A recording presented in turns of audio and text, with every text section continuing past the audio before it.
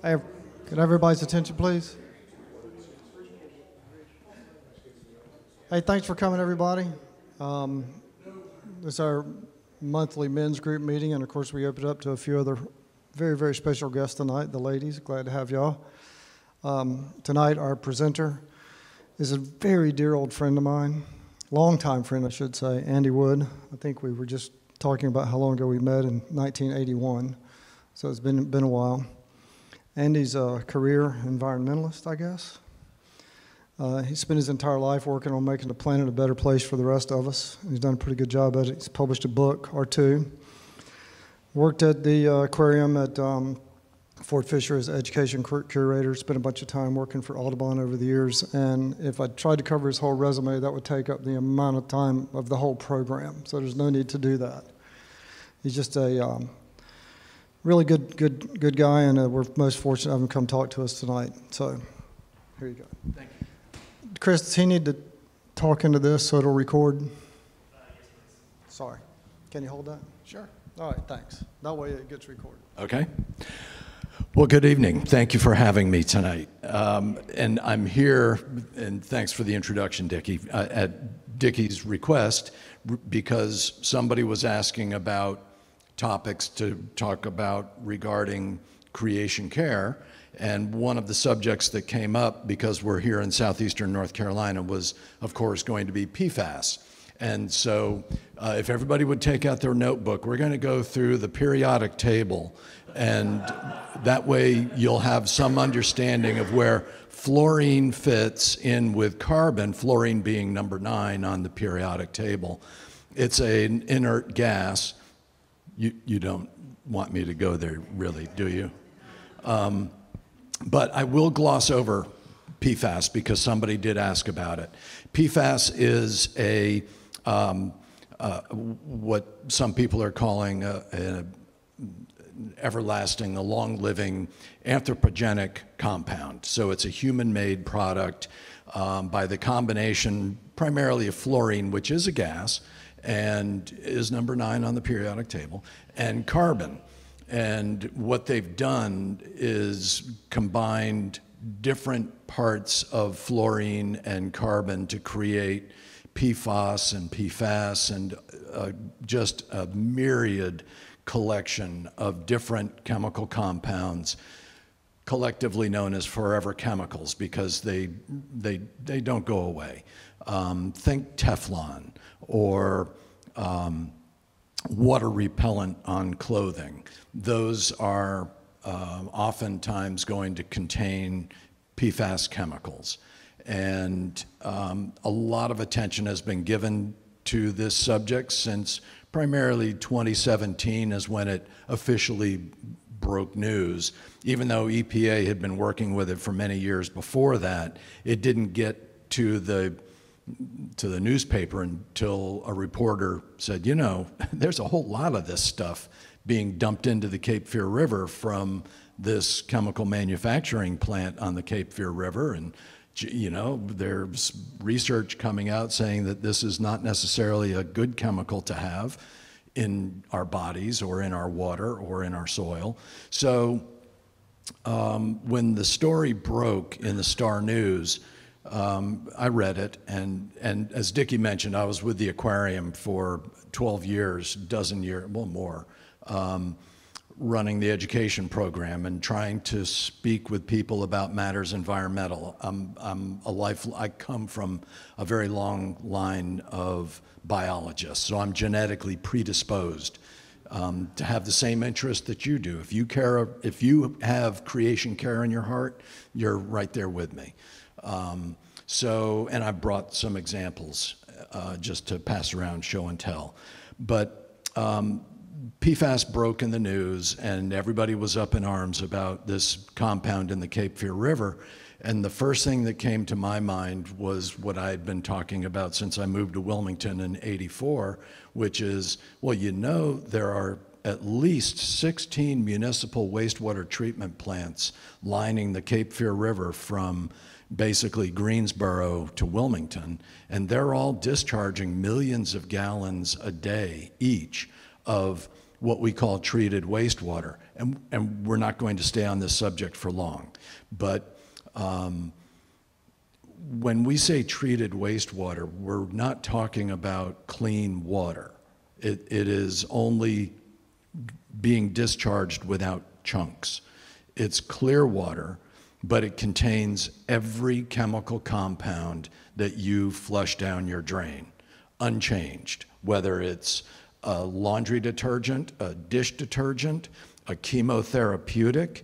If we sample the Cape Fear River water, which I used to do, you'll find elevated levels of uh, caffeine, tobacco or um, nicotine, cocaine, opioids. Um, when we were doing fish samples downstream from wastewater plants collecting sunfish and doing bioassays on their fatty tissue, what we found is there were elevated levels of Prozac and Viagra. Those were some confused fish. so, um, so when we talk about PFAS, that's very good. It got a lot of attention drawn to the issue of water quality. But in my uh, commentary to the newspaper following, my point was this is just the tip of the chemical iceberg that's in the Cape Fear and in other river systems. And then the phone calls started people were rightly concerned about this. And so what I the reason I'm talking about it right now is I want to try to put your mind at a little bit of ease. Um, at least for our age. For this group here, we don't really need to worry about PFAS. It's, this isn't about us. This is about the next generations that are bioaccumulating this stuff right now. And so when you hear people talking about water pollution and protecting wildlife, which is what I've made a career doing, looking out for creation, if you will, um, plants and wildlife, I do that because I know we, our species, is at the top of the pyramid on the planet, the food pyramid. We're at the top we can single handedly take out a whale or a polar bear. Yeah, that's not what puts us at the top. What puts us at the top is we eat everything below us. So we are bioaccumulating everything that we put into the environment. So when you hear somebody like me talking about we need to take care of the environment, we need to clean up the water, we need to clean up the air, it's not because I'm trying to rescue some obscure beetle or a snail or frog or a fish. I'm worried about Homo sapiens. And um, so that's my objective is to get people thinking about us as part of creation, if you will. Um, and I'm using that term in a way that I never do, honestly, uh, because I'm with a, a, group I don't usually get to speak with. Um, Everything we have here is all we have here. Here's some fun numbers. So, you know, Earth is wasn't long ago that we didn't know Earth circled around the sun. There, not long ago, we thought the sun rotated around us. But Earth is spinning right now at about 1,000 miles an hour. And we're orbiting the sun at about 70,000 miles an hour. And the sun is orbiting the Milky Way at about a half a million miles an hour. And the Milky Way is zipping through the universe at a million miles an hour. So, in the time that we've been together tonight, we've already traveled well over a million miles through the universe, which I think is pretty cool. The moon is spinning um, on its own around the Earth at about 2,000 miles an hour. I mention this because right now there is a big anti science push. I'm a scientist, I'm bilingual, I speak science and English. And I want to make this point to you. I'm assuming everybody believes we actually did land people on the moon, right? We did. So the only way we could have done that is if we knew how quickly the Earth is spinning on its axis, and we had to know how quickly the moon is orbiting around Earth. And we know those two numbers to almost the foot per, per hour, almost. We've got it down to less than a mile an hour, knowing what those rates are. If we didn't have that information, we could not have landed anybody on the moon. It would have just flat out crashed. We could have shot toward the moon, wouldn't have gotten anywhere near it. So, why am I making this point? Because the way we learned that is through a process commonly referred to as the scientific method. We tested hypotheses, we tested theories, we came up with factual information to reinforce what we were trying to prove. And one of the things I love about scientists relative to athletes, athletes don't know the meaning of the word competition. What every scientist is trying to do is disprove what their best friend scientist holds to be true. I would love to be able to prove that one of Einstein's theories is incorrect. And trust me, there are lots of scientists working to disprove what we currently hold to be true. And that's a good thing. We don't assume. Occam's razor is a tenet that we hold that we use that to explain the uh, concept, the idea of the simplest explanation is best. Don't think it's like climate change. There was some talk, oh no, those are sunspots. No, they're not sunspots. Why, why make it so complex? We know what's going on. We understand the greenhouse effect. So let me clarify one thing also, because there's lots of mixed information about climate change. Human beings are not the cause of climate change. There, a scientist just said that. Humans are not the cause of climate change. There is a however. We are the change agent. Our activities serve as a change agent for the rate of climate change. So we need to understand that climate has forever changed since Earth has had an atmosphere going back billions of years. The first mass extinction came about when plants started to emit oxygen into the atmosphere and wiped out all of the organisms that did not breathe oxygen. All the bacterium that lived on carbon dioxide were wiped out. That was the first mass, ex mass extinction, brought about by an organism that produced oxygen into the atmosphere. So our atmosphere is forever changing. We're coming out of an ice age. We've been, well, we're in an ice age. We're coming out of the last glacial maximum. And that started well over 20,000 years ago. If we were here 20,000 years ago in southeastern North Carolina, we'd all be in parkas. It was very cold, really dry, very windy. You wouldn't walk out into the parking lot at night because there were dire wolves flat-faced bear, saber-toothed lions, mastodon, muskox, all the things you would expect to see up in the Canadian tundra. They lived here. So this place has changed. What we consider home today is very different from what it was just 20,000 years ago. What we see today looks very much like what it looked like six to 8,000 years ago. The cypress trees that you've probably heard about up on the Black River, well over 2,000 years old, and we know that by increment boring. We've drilled holes into the trees to count the rings. That process of drying the sample and polishing it so that we could count the rings, that took over a year. But we now know those trees are well over 2,600 years of age. And their parents were well over 2,000 years of age, and their parents were over 2,000 years of age. And we know that by looking at the stumps, a process called dendrochronology.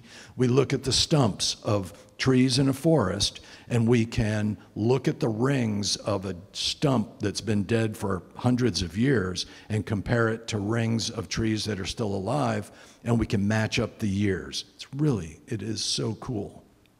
So you can stand in a forest and date back what was going on in this forest. And if you look at uh, Google Earth and follow the Cape Fear River, you can see its channel winding out toward the continental shelf. And when you take a boat out the Cape Fear River toward the continental shelf, out toward Frying Pan Shoals, as you're going out and you're in 30 feet of water, your side scan sonar is pinging cypress stumps. And if you go to Fort Fisher and look at where the original fort stood, it was a quarter mile off of the beach. The Condor, the blockade runner Condor, ran aground on Fort Fisher Beach, but that wreck is over a quarter mile offshore. What does that mean? The shoreline is retreated. So, as my colleague Orrin Pilkey says to people living on the beach, you're kind of doomed. The ocean is coming, it's just coming slowly, but not really when you hear somebody's, and full disclosure, I was a lobbyist on Capitol Hill for three years, working for climate and energy legislation, so I know how to talk to a wall, because I've done it. Um, when I would say to a politician, you know, the ocean is rising. Oh, yeah, I know, Andy, it's coming up three millimeters a year. Psh, wow. Or maybe not even that much. Okay, so you're not worried about three millimeters of rising ocean on a relatively flat coastal plain terrain. Have you ever spilled three millimeters of water on your kitchen counter? What does it do? It spreads out, it expands. So I don't use the term sea level rise, I use the term ocean expansion. And when I talk about the ocean, I'm talking about the great ocean. There is one ocean on Earth the Pacific, Atlantic, Indian, Arctic, Antarctic. They all communicate. It's one ocean. It takes a while for a drop to get from the Pacific to the Atlantic, but it's all connected. And it's actually connected in pretty strange ways through trees that through a process called evapotranspiration. Nobody's taking notes. You know there's a test. This is question six on the exam. Um, so the trees are drawing water out of the ground, evaporating it off of their leaves, transpiring it through their leaves. That moisture goes up into the atmosphere, literally forming clouds that rain on a farmer's land a hundred miles away from where those trees are standing that pump that water into the atmosphere. So a farmer is benefiting from trees that he or she may never see. But the trees are part of what we call the water cycle. So, all of this, the water cycle, the ocean, the land, all of this is basically the clean, uh, what do you call it on a picture before you paint it? Um, I'm drawing a, the canvas. The canvas for creation is the ocean, lakes, rivers, and the land along with the atmosphere. And I call this place that we live on Starship Earth because it is. We're a starship. We have our own little atmosphere, and all of the species that live here with us, that dwell with us, I regard as rivets or nuts and bolts, if you want. If we were in the, in the space station right now, imagine one of those astronauts looking at a rivet on the space station and saying, you know, I don't understand how that thing is providing any use to this space station. We don't need that rivet. Let's go ahead and just pop that out. And another astronaut might say, you know, this screw here, I really don't understand what it does. I, am not sure that it does anything for us. We can get rid of that screw. Every plant and different kind of plant and animal is a rivet, a nut, a bolt, a screw. It is holding together our spaceship Earth, quite literally. So when you are talking about creation care, you're talking about care for our environment, not elephants and whales. Well, yes, it is for them too but it's really about us. It, it's okay to say you care about the environment for the sake of people. I care about the environment for the sake of birds and turtles, but also for people. So I want to, how much time do I have? So I'll be quick. I want to, you've all heard about the Venus flytrap, I'm sure, ad nauseum. this is what a flytrap looks like in the wild. You can just barely see it. Tucked in with sphagnum moss. And uh, in this example, this is just a dollop of soil. Dickie's been out to my property, so he knows what it looks like. I have a fire break around my property. I live on the edge of Holly Shelter. And every once in a while, a fly trap or a pitcher plant shows up in the fire break, and I'll dig it out and pot it up, or I'll just move it. Well, this is a little dollop of soil that contains at least 12 different kinds of plants. So when we talk about flytrap, what I talk about with a flytrap isn't just a single plant by itself, it's living in a commune sort of situation, a community with other plants and even with animals eh, that they happen to eat. so, um, so in our area, southeastern North Carolina, and I'm assuming you're all familiar with where we are. Southeastern North Carolina is part of the uh, what was recently recognized as the North American Coastal Plain Ecoregion. And we've known that this is an ecoregion that extends basically from Cape Cod to the Gulf of Mexico, but it's now referred to as a biodiversity hotspot. And that's because within this swath of coastal plain habitats, Alabama, North Carolina, parts of Florida, Texas. We have over 1,500 different kinds of plants. That rivals the tropical rainforests of Brazil. The big difference in Brazil, the plant diversity is 100 feet off the ground, up in the tree canopy. Here, our plant diversity is on the ground. Where this building sits, before this was built here, I'm very confident that I could have walked this property, spent some time on the property, and I would have come up with probably close to 120 different kinds of plants that lived right here. And I know that because I've done a lot of work on the property behind this church uh, that now has a Pluris wastewater treatment plant and all those buildings being constructed. Um, the developer actually hired me back in 04 and then again in 14 to show them what places should we avoid. Uh, and I showed them what places, and they said, those are all the uplands. That's what we're going to be building on. So um, when a consultant doesn't tell their client what they want to hear, you don't get rehired. So that's fine. So they're building it out my point is where we are right here on Sidbury Road, this is part of what my colleagues in the state natural heritage program identify as a significant natural heritage area. And that's because of the incredible plant diversity here. Fly traps used to be right under this building. Pitcher plants, Cooley's meadow rue, sundew, butterwort, orchids, five different kinds of orchids lived literally on, on this hallowed ground.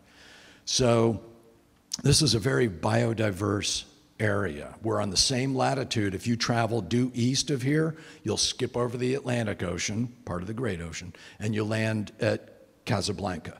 And behind that, on the same latitude as us, is Baghdad. Go due west of us, you end up in LA at the Pacific. Due north is Rochester, New York. And then due south, you skip over Cuba and end up at the Panama Canal. So you have your compass points now when you're walking around outside. You know where you are. We are a distinct spot on the planet. And I, I catch myself saying, this, this, we're the, this is such a unique place. Well, really, everywhere is unique on the planet. Go to Australia, which I haven't. Go anywhere on the planet, and you can say, wow, this is a unique spot. There's nowhere else like this. And that is very true. So this is um, definitely more biodiverse than somewhere most of Iowa, for example. 98% of Iowa has been uh, tilled. They're now trying to bring back uh, bison in some areas by doing some uh, prairie restoration. Our area, we're not yet at the point of trying to restore habitat. I do some at a small scale. We're at the stage now where restoration comes next. Right now, what we need to do is protection. We need to figure out what parcels of land can we protect into the future.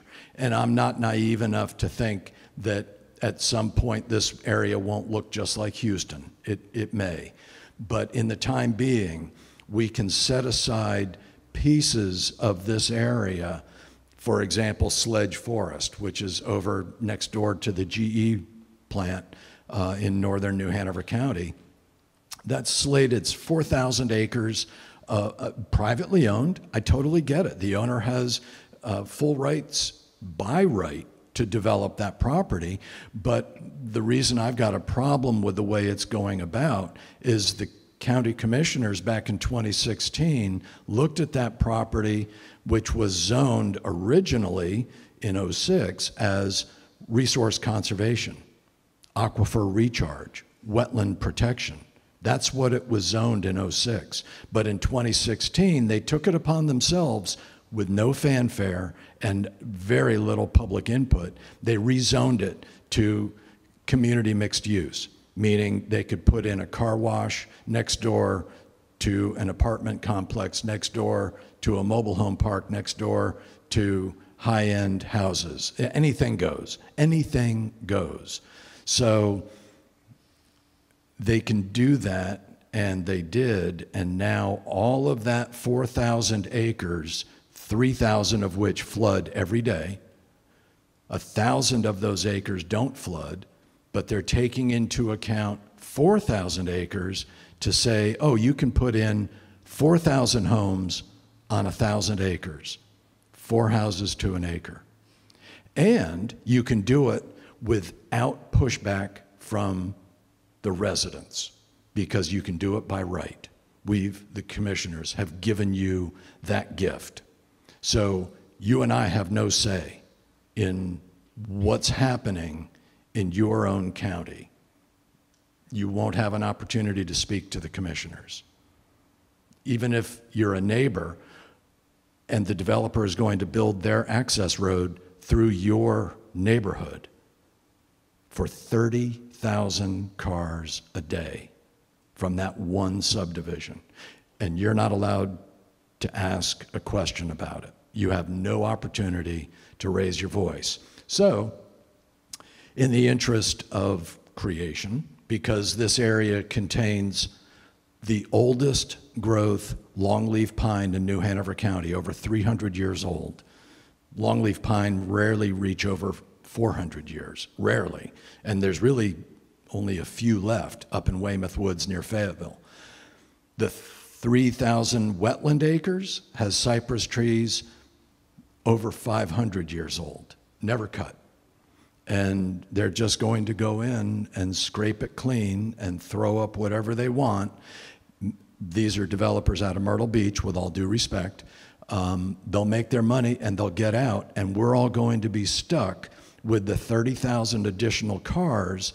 And it's not like any of us who live here need that subdivision, right? We, we don't need it and yet you're going to pay for the infrastructure required to build it with your taxes. And yet you don't have a say with the commissioners. So we have a town hall meeting scheduled for next Saturday in Castle Hayne. Uh, our website is sledgeforest.org. It's very simple. We have a petition up there. We put up the petition less than a week ago. We have almost a thousand signatures already. There are a lot of upset people in that area whose lives is, are going to be pretty much upside down when they start doing this construction. So here, th- this is just one example of the issues we're going to be dealing with in the game of the environment. And you're going to be hearing uh, soon about EPA being cut um, and other, and uh, lots of environmental regulations being cut. There's going to be lots of lawsuits. This is going to be wildly expensive. Um, and it's all going to come out of our pockets. But when you hear people talking about EPA workforce being cut, that means no more sampling of our water. So you won't know what volume of PFAS there is in the water. You won't know what other chemical compounds are in the water. It's easy to say, I don't care about a turtle. I'm not talking about turtles here. I'm talking about human beings. We are essentially deciding that our lives are just not worth worrying about. I've been in the game of the environment literally all of my life. My father was research director for the American Cancer Society. Imagine the things I heard as a little kid, way too young to understand what my father, who was a consummate scientist, when I asked my father a question, I got a straight up answer, whether I understood it or not, whether it was something my mother wanted him to tell me or not.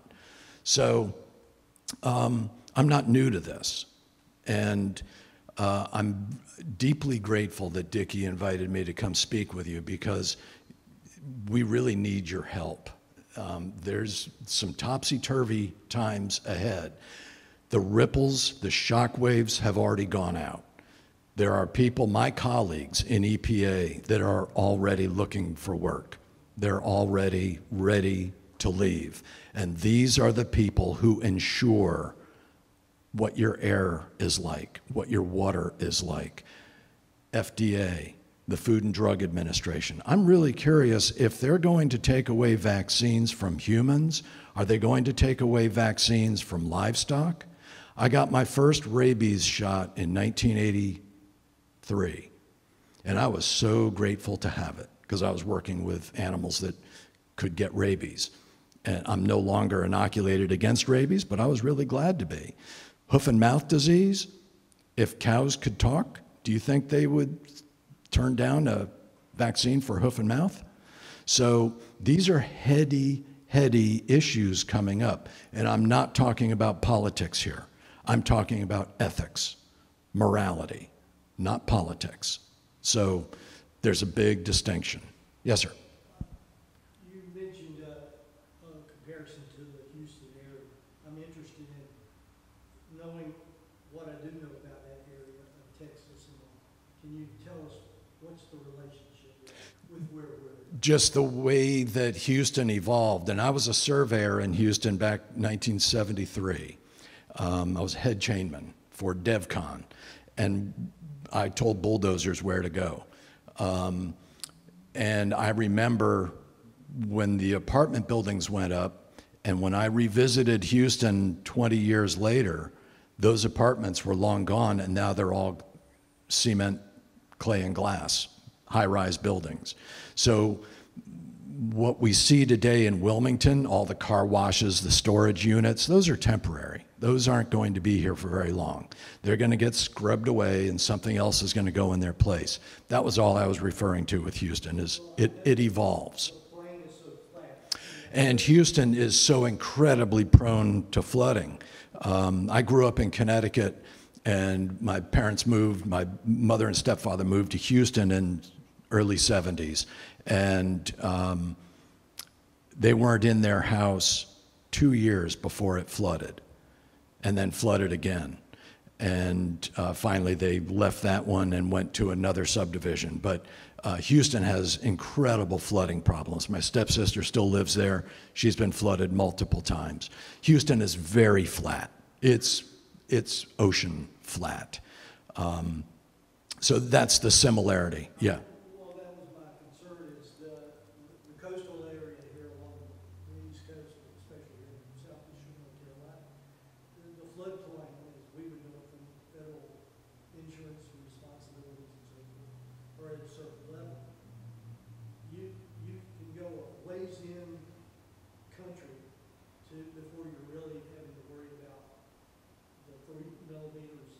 Right.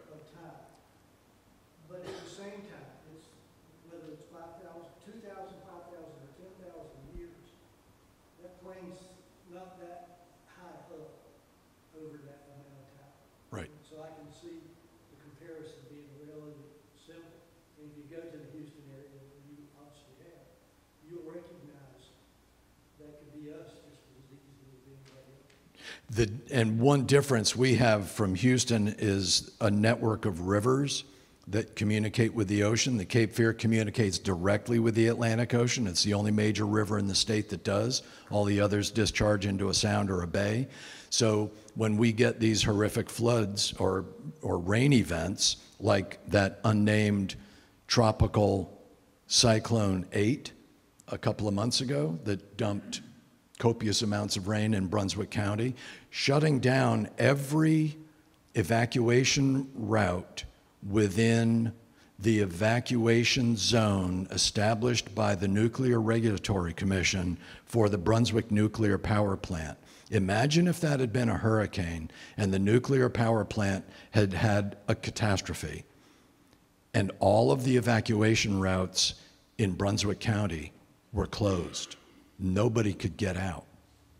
So I've addressed this with the county commissioners in Brunswick, and they just kind of, oh, yeah. Really? Are, are you not paying any attention to what's going on?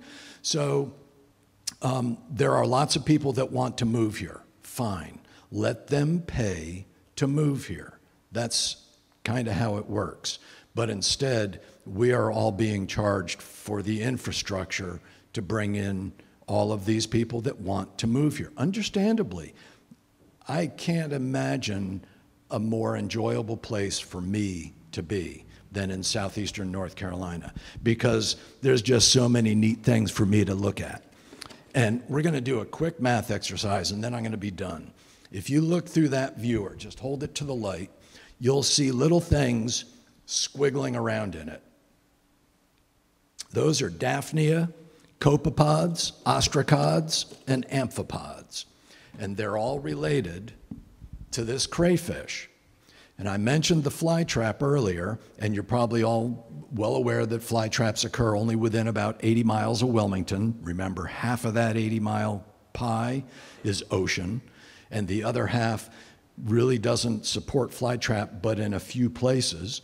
Um, so fly traps are well known. That crayfish you're looking at is called the Croatan crayfish. The only place in the world that you can find that species of crayfish is right here in southeastern North Carolina. But wait, we even have our own salamander. That is called a broken striped newt. The only place in the world that you can find a broken striped newt is southeastern North Carolina. So when I say this place is unique and special, those are just a few examples of what makes this place unique and special. So why the little Tiansy jobs that you're looking at in the viewer? Those are the smallest, some of the smallest things that you can find in a pond. Here's the math exercise. I mentioned a food pyramid earlier, of which we are at the top. So let's imagine a food pyramid like you would see on a box of cereal. Around the food pyramid is air, water, soil, and sunlight. At the bottom is plant material. Above the plant material are animals that eat plants. Above that are animals that eat animals that eat plants. Above that, animals that eat animals that eat animals that eat plants, until eventually you get to us. So when you think of this as a ladder, each time you climb a rung on that ladder, you have to multiply the amount of energy required to take that step by 10. So those little tiances you were looking at, they are food for a small fish called the mosquito fish. And this is clean pond water. They look like a guppy. They're the North American counterpart to the South American guppy. They're cousins. And um, so our mosquito fish, so named because mosquito larvae in a pond are ice cream to them, um, mosquito fish eat all those little tiancy jobs.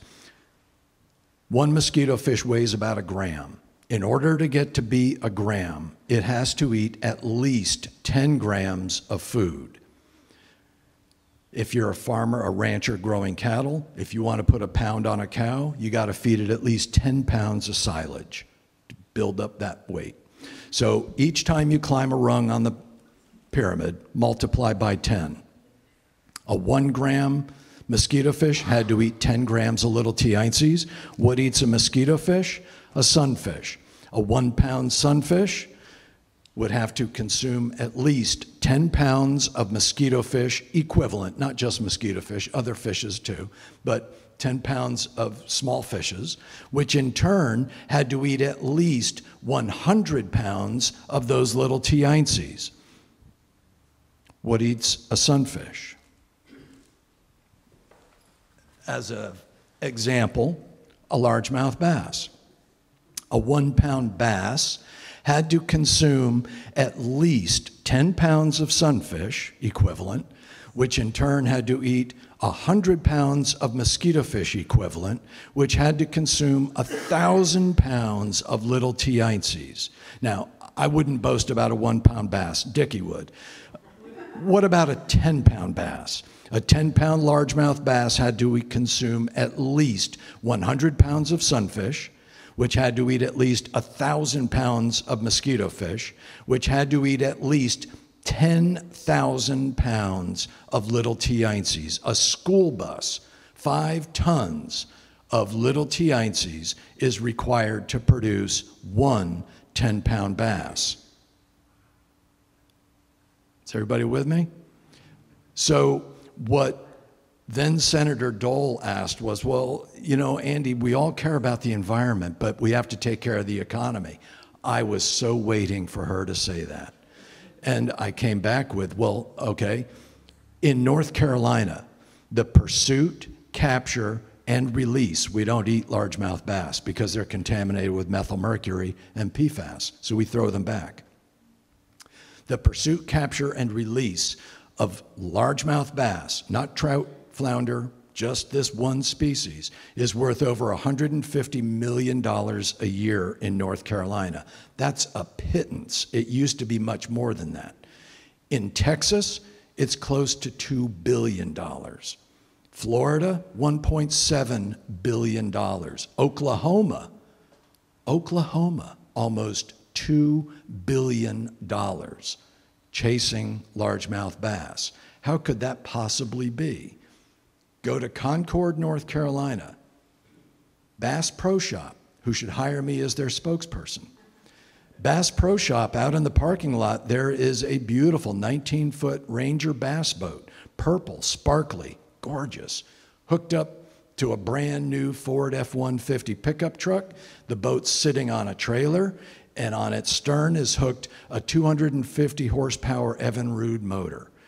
The boat hull, forty-five to sixty thousand dollars. The trailer, couple two three thousand dollars. The motor, hundred dollars per horsepower, I believe is what you told me. So roughly twenty-five thousand dollars for the motor. The Ford pickup, $80,000 for a clean $200,000. You too can leave Bass Pro Shop after you go in and buy the clothing, the rod, reel, terminal tackle, fishing line, all the other accoutrements you need to look like you know what you are doing when you go chase that largemouth bass that you're then going to throw back, meaning you don't have dinner. So you're going to go to a restaurant and well, you don't have breakfast. So you're going to a restaurant for breakfast. You're going to go to the grocery store and buy all your stuff for lunch. But you've got a $200,000 rig that you just went to that rural community in Oklahoma, Texas, Florida, California, or North Carolina, and you're not sleeping on the ground. You're going to go to a hotel. That's how those numbers get built up. And it's with the largemouth bass, it's economic revenue going to rural communities, not a city. Wilmington, yeah, we have anglers that come here and go out in big boats chasing big fish out in the ocean. But in parts of Oklahoma, Nevada, Missouri, there it doesn't get much more rural than that. But the bass fishing is almost second to none in Nevada, Missouri, where I've been, and worked with farm managers there to help them understand why we don't want their cattle going down into the streams. And I showed him by dip netting out a little young bass fry and asked the manager, Frank, hey, uh, there's a young bass here. There must be a lake somewhere. Oh, yeah, it's where I go fishing all the time. It's about six miles downstream.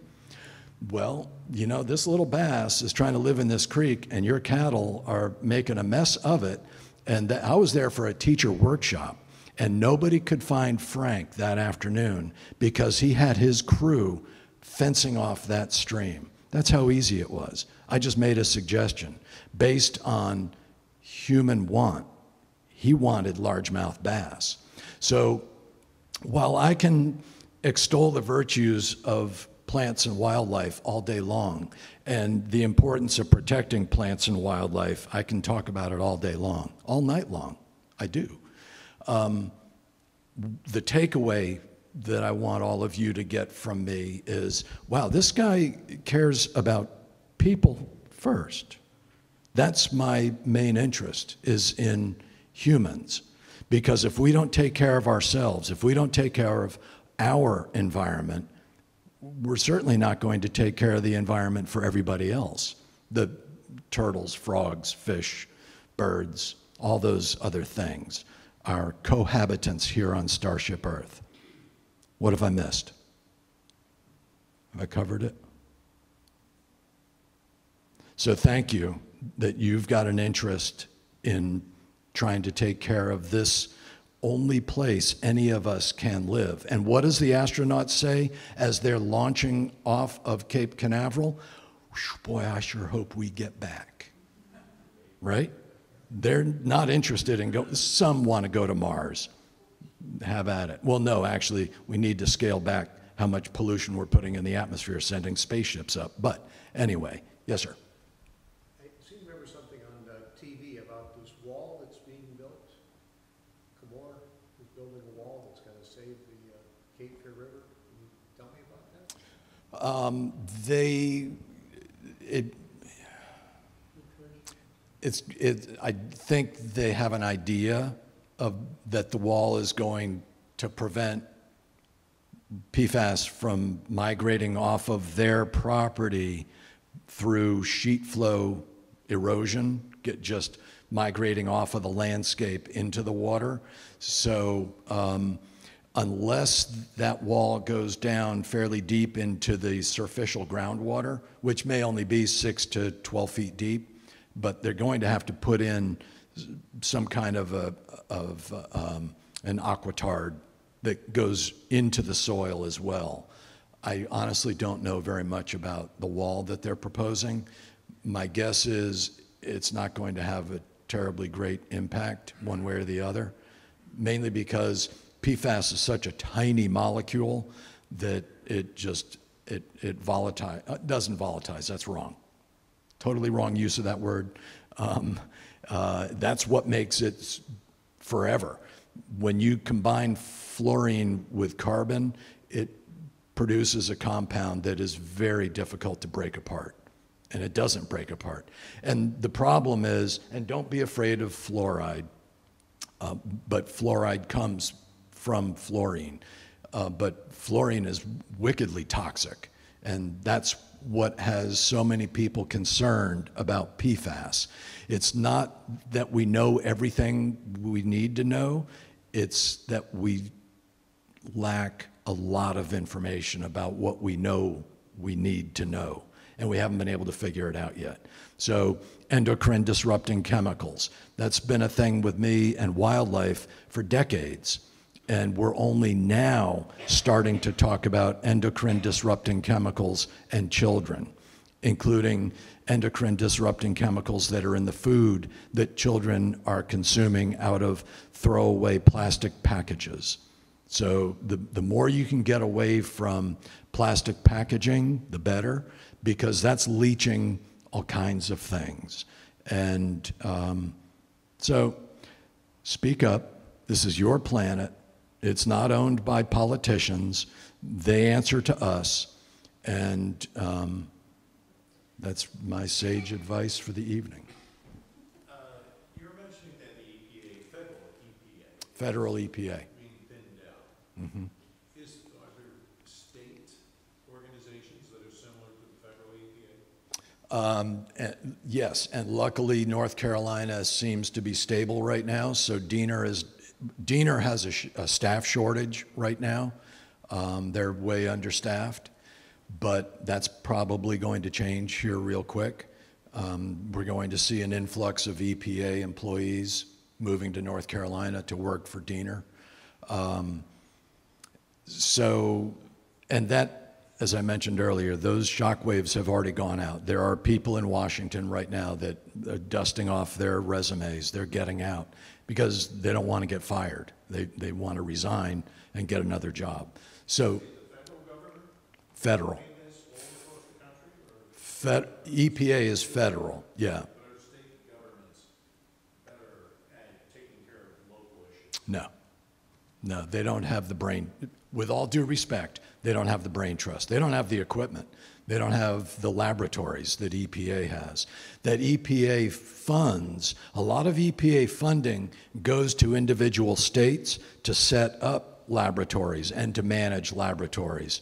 Um, and then universities, Duke, NC State, even UNCW, um, Chapel Hill, they get grant funding from EPA to do collaborative work, including with things like PFAS, but other issues as well.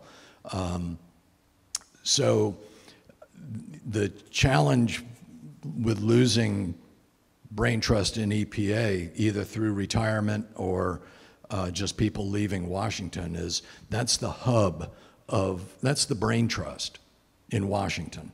And so what I've been told is the, the message from on high is you're comfortable here in Washington, but we're going to be moving you to Nevada, Missouri.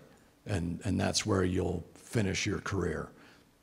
And you know, these are people with multiple PhDs who, they're the people who identified PFAS as example.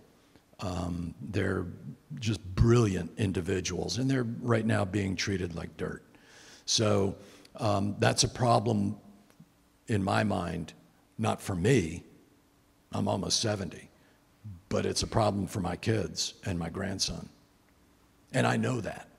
That's what's really disheartening is there's, so much that you don't want me to talk about that I won't. Bill, if I could, maybe an answer to that. When I saw it, it was only in North Carolina, but throughout my career, the state program, and it's that way in other states as well, is much more impacted by political push. EPA really wasn't catching that, polit- it, it wasn't a political line. But at the state level, it can sure become that very quickly. And, and part of the, thank you. You, you actually really raised a very important point. EPA is the, the environmental enforcement agency, not the Corps of Engineers. Corps of Engineers answers to the EPA. EPA is who enforces Clean Water Act, Clean Water Act. Um, the Corps of Engineers has to get a permit to pollute water. They've got to get a permit to do it. So you may get fined by the Corps of Engineers, but they are serving as an arm of EPA, separate entities working together. But EPA is the environmental law enforcer, and that's what we're going to be losing. So if Chemours is worried about the amount of money they have to spend keeping PFAS out of the environment, soon they may not have to worry about it. And I'm not saying that glibly. We're done. What? So this fellow, Lee Zeldin, has been tapped to lead the EPA. Are you acquainted with his name? What is it again? Lee, Z-E-L-D-I-N. Wasn't he the uh, guy running for governor of New York City? That was just announced today, I think. I don't. I don't. Um, But if, if he's a, a political appointee, uh, he is probably woefully inadequate for the job. Um, It, it's truly amazing what the Environmental Protection Agency does. And I like to give them grief as well as anybody else. Um, but without them, I, I grew up without Clean Water Act and Clean Air Act. We all did. We didn't have that until 1973. And suddenly, uh, the Houston Ship Channel quit burning, and Lake Erie quit catching on fire. Fancy that. I grew up in Connecticut. My, I've told Dickie this more than a couple of times. My blue sky was gray. It was not the color of my pants, but it was a light gray. A clear, cloudless day, light gray.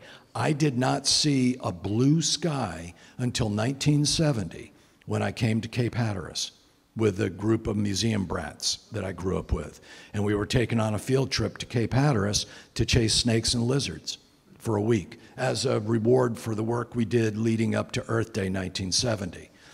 And we got to Cape Hatteras, and all of us were dumbstruck by a blue sky. I mean, blue sky. None of us had ever seen one. We were all excited as little kids loading in the bus to go to New York City to the Bronx Zoo or the Museum of Natural History because, wow, it's like smoking a pack of cigarettes. One day in New York City was like smoking a pack of cigarettes. And we thought that was the coolest thing. Little did we know.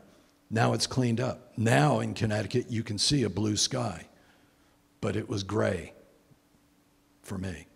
So, anyway, as I have said, I will talk all night. So, somebody needs to bring out the shepherd's hook and I got a chance last Saturday to ride back here in Blake Farm. And that, going back there for over two miles back in it. And the forest land that's gonna be destroyed back there, they're changing natural streams that flow through the land. Mhm. It, it, it really was an eye-opener to see what destruction is gonna be to this environment in this area. And I've lived here since nineteen sixty-eight. And I've been in this area since the fifties. Yep. My father-in-law had a little place on the water. And I've seen the, the mass destruction in this area. it's, it's staggering. And, and I know It's unbelievable what's gonna happen back here. Right. And I, again, I was hired as a consultant in there. I've walked every, not square meter, but I've been in throughout most of it. No, no. I've been given the high sign a couple of times. Quit talking. Thanks. Um, Big round. Thank you. Thanks. And we're not going to give Andy the hook, and I will not put him on the uh, spot and say we'll have him back anytime, he'll come anytime, but he probably will. Be glad to. And from, from the men's group, we need to have a,